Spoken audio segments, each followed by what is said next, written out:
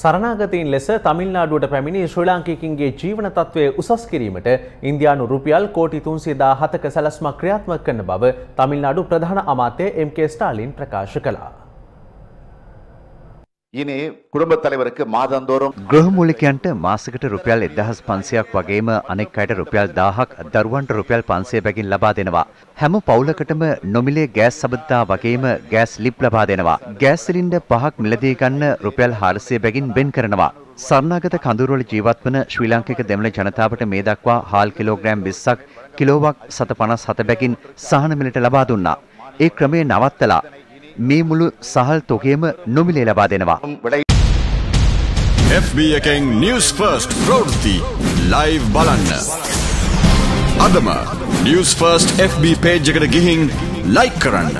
ඉන්න තැනකදී ලයිව් නිවස් බලන්න. දැනුවත් වෙන්න. ඇත්ත දැනගන්න. එය ඔබේ අයිතියයි.